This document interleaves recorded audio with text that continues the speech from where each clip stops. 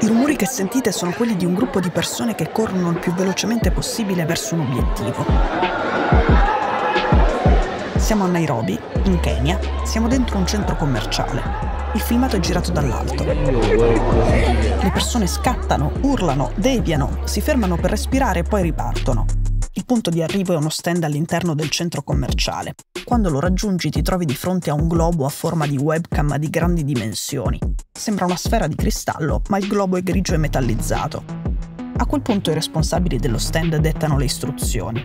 Devi mettere il tuo occhio di fronte a un piccolo buco al centro del globo, così le immagini della tua iride vengono mappate e registrate. Negli ultimi due anni questa scena si è ripetuta identica in Indonesia, in Sudan, in Cile, in Ghana, in Norvegia. I responsabili degli stand con la grande sfera in tutti questi posti sono famosi per una cosa.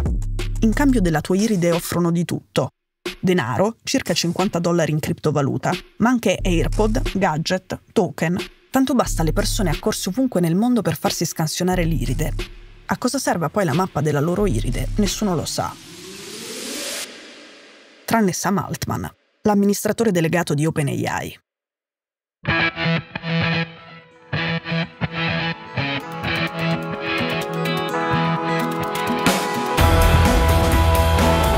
Sono Cecilia Sala e questo è Stories.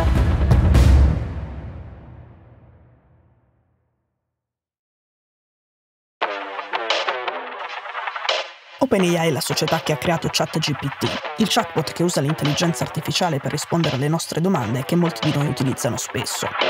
Sam Altman, oltre a ChatGPT, ha altri progetti e uno riguarda i nostri occhi. Now, would you be willing to provide a scan of your eye in order to get hold of a new cryptocurrency? La raccolta delle immagini dell'iride in tutto il mondo dura da più di due anni.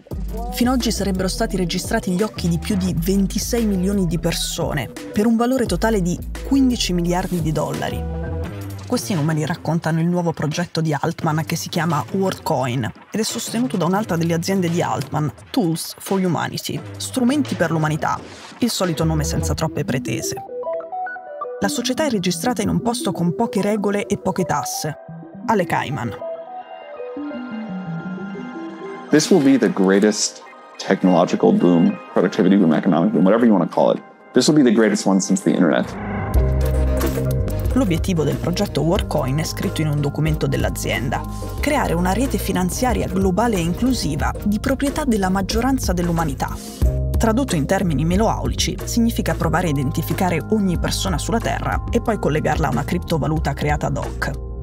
L'obiettivo finale però è ancora più gigantesco fornire un percorso verso un reddito di base universale per il giorno in cui l'economia globale sarà sconvolta dall'intelligenza artificiale. Insomma, Sam Altman si aspetta che l'intelligenza artificiale possa distruggere moltissimi posti di lavoro, così questo progetto di Altman serve a compensare l'altro progetto di Altman.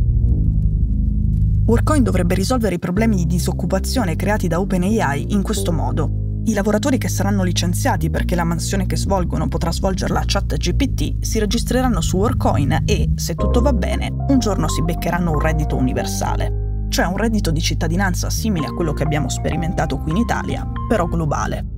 Come tutto questo dovrebbe funzionare ancora non si sa.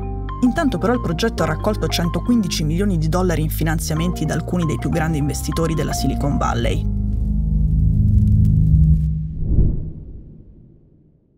quello che si sa un po' meglio è cosa non sta funzionando in Workcoin.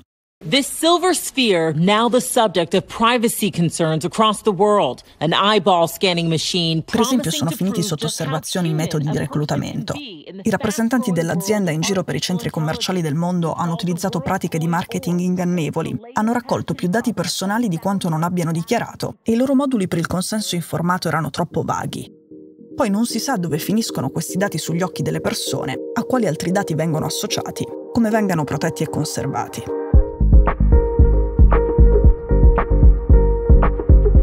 La Francia, la Germania e il Regno Unito hanno annunciato indagini sulle pratiche di raccolta dell'iride. In Italia WorkCoin non c'è ancora, ma il garante della privacy ha già deciso di indagare sui suoi metodi. Some of those orbs found in Nairobi, Kenya, where authorities are now scrambling to suspend operations il Kenya nel frattempo ha sospeso la possibilità di scansionare gli occhi dei suoi cittadini. Secondo fonti locali, la polizia di Nairobi ha fatto irruzione nei magazzini di Workcoin e ha sequestrato attrezzature e documenti. La risposta della squadra che lavora al progetto per Sam Altman è State calmi, guardate che questi problemi sono piccoli e risolvibili.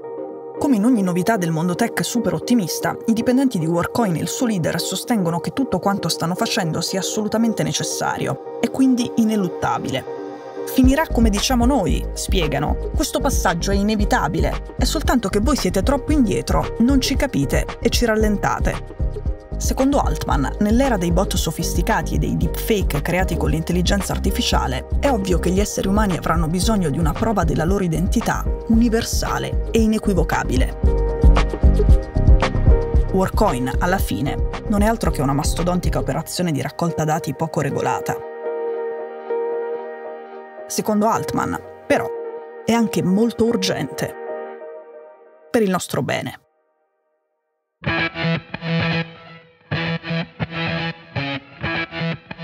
Stories è un podcast di Cora News prodotto da Cora Media. È scritto da Cecilia Sala. La cura editoriale è di Francesca Milano. In redazione Simone Pieranni. La sigla e la supervisione del suono e della musica sono di Luca Micheli. La post-produzione e il montaggio sono di Daniele Marinello. La producer è Martina Conte. Le fonti dei contributi audio sono indicate nella sinossi.